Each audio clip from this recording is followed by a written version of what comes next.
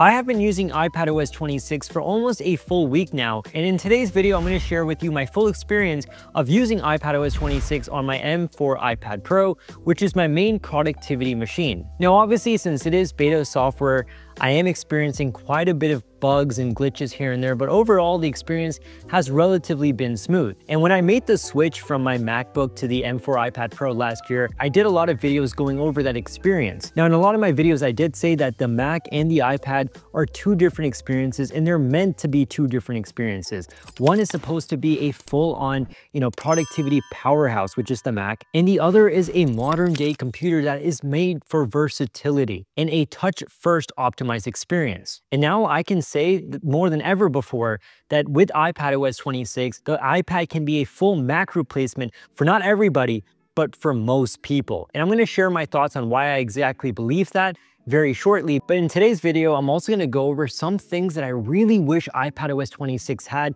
that I've been wanting for a long time. But first, let's talk about the new enhancements made to iPadOS 26. So first, let's just quickly talk about design, which brings you an all new look and feel with liquid glass. And when you're using the iPad on a daily basis, this new look and feel really gives it a more vibrant and delightful way of using the product. At first, I'll be very honest, when I was using this new liquid glass you know, design, I didn't find it to be a huge difference between this one and the previous one, but it's only when you go back to a device that's not running iPadOS 26 and that's where you're like, wow, this feels so much more modern, and the one that's not running iPadOS 26 feels just dated somehow. But now let's put the design aside and focus on the all new productivity features that are really, truly enhancing my workflow. And the number one thing on the list is that Apple is taking multitasking next level with iPadOS 26 because finally you get proper windowing.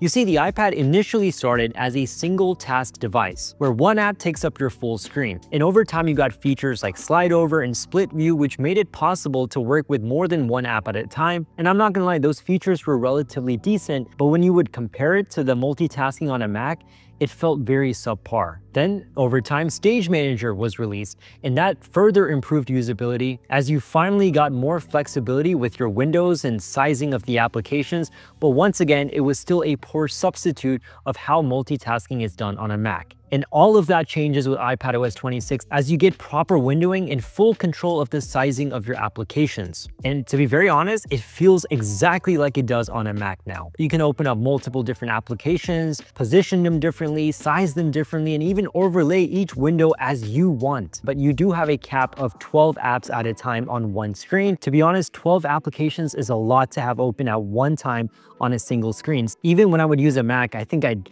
rarely if ever had 12 different programs or applications open at once. And what I really enjoyed was this nice quadrant mode where you have four applications open at once with each app taking up equal space on the display. This is all done thanks to these new controls that are completely brought from the Mac. And those are the traffic light icons where you have the red, yellow, and green circles just like you do on a Mac. The red one is to close an application, the yellow is to minimize the application, and the green one is to change size and orientation of the application. So rather than you manually having to, you know, change the orientation or the sizing of the, each application, you can now do it with a single click with that green button, which gives you a lot of different options to choose from. Multitasking feels exactly like it does on a Mac, and that alone is something that takes the iPad next level. But another thing that Apple has brought from the Mac is the menu bar. From a usability standpoint, there's really no better interface for accessing features that aren't front and center. And I believe Apple's approach before iPadOS 26 was to just keep everything minimal and clean. And I get that, right? But at the same time, from a usability standpoint, it also makes things a little more frustrating and difficult because you have to browse through different shortcuts through your Magic Keyboard, or you have to make numerous taps on the screen to, you know, accomplish a certain task. But now with the menu bar right there, front and center, when you hover on the top part of your iPad, it just magically pops up with all your shortcuts and tools to choose from. And it just works flawlessly. And it almost makes you wonder, why was this not on an iPad to begin with? And I was watching an interview with Craig Federighi and he talked about differentiating the Mac and the iPad, yes, but if there are certain elements that are just working really, really well on a Mac, then it can definitely be brought over to an iPad. And that's exactly what they did. And yet the iPad experience and the Mac experience are obviously still very different, but at the same time, they do share more similarities than ever before now, and I think it only makes the operating system for the iPad way more advanced. Another major upgrade is that Mac style drag and drop is finally here. So transferring content between apps and windows used to be a frustrating mess on the iPad, but not anymore. And on top of that, file management also got a much needed boost. You can now drag folders to the dock, label them with symbols for quicker recognition, customize list views, and even choose default apps for different type files. You also get a preview app, which really improves the experience of managing PDF files and editing them. You also get a journaling app for the first time ever, which should have been on the iPad from the very beginning of the launch of the journal app, as it just makes sense to jot down your notes and thoughts and journaling with the Apple Pencil in the large canvas of the iPad display. So we're getting these great applications, we're getting these great enhancements and features, and to be very honest, I'm very happy with iPadOS 26 but like I said in the very beginning of the video, there are some things that I really wish it had. And if it had those things, then I can fully say that yes, the iPad is a full Mac replacement. And I'm gonna go over those things with you right now. The first thing is a clamshell mode. So when you hook up an external monitor to a laptop, the desktop appears on the external monitor in the laptop display. Then when you close the laptop and enter clamshell mode, the desktop only uses the external monitor. But when you do that on an iPad, it shuts the power off to the device and stops everything. Amen. Come on, Apple, let me be able to just close my iPad like this and still have it function on an external monitor. Once again, clamshell mode is something that Apple is just refusing to bring to the iPad. The next thing I really wish Apple brought was support for plugins. You see, when you're using a lot of great pro applications like Adobe Photoshop or Final Cut Pro or Logic Pro, you do have those applications on here. And yes, they're slightly watered down, but there's so many great plugins that you can get for the Mac that really takes your editing experience next level, but you just can't get those plugins to download on the iPad.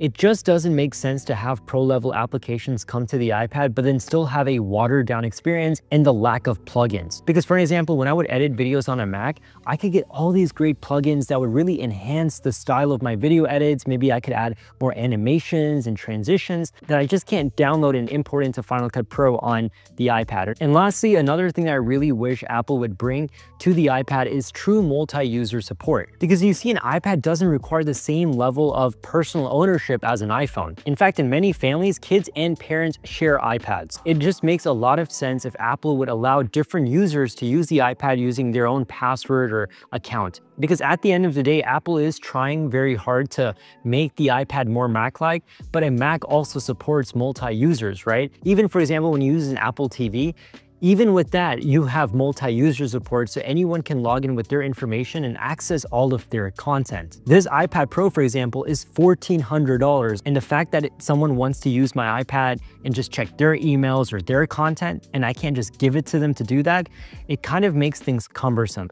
I get that they don't want to have a multi-user support with different account IDs and stuff, but at least have a guest option where, you know, if I want to give this to someone just for them to browse the web, my personal details details and information don't show up. They can just use it as a guest, just like on a Mac, you have a guest mode. And when they log out, all their information is out of the system as well. I think that would have been really, really nice. But at the end of the day, overall, I am super happy and impressed with iPadOS 26.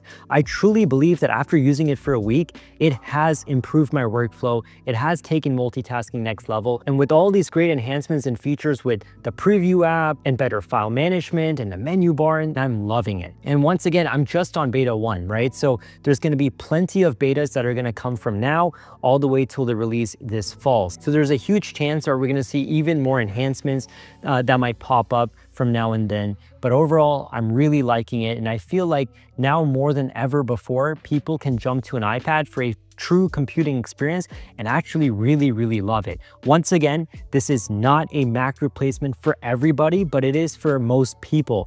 Of course, if there are certain programs and applications that you're using, especially if you're into programming and coding like my wife, then yeah, a Mac is the best device for you.